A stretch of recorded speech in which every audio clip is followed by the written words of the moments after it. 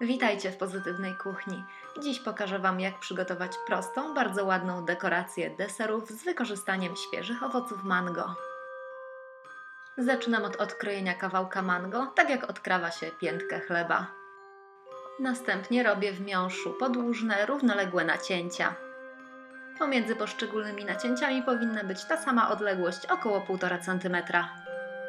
Kiedy paski nacięć są już zrobione, zaczynam wykonywanie nacięć pod innym kątem.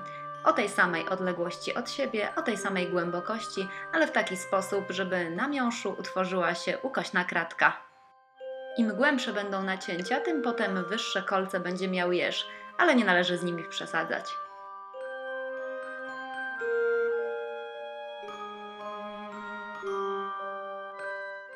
Kiedy nacięcia są już gotowe, przyciskam spód owocu tak, żeby kolce jeża wyszły na wierzch.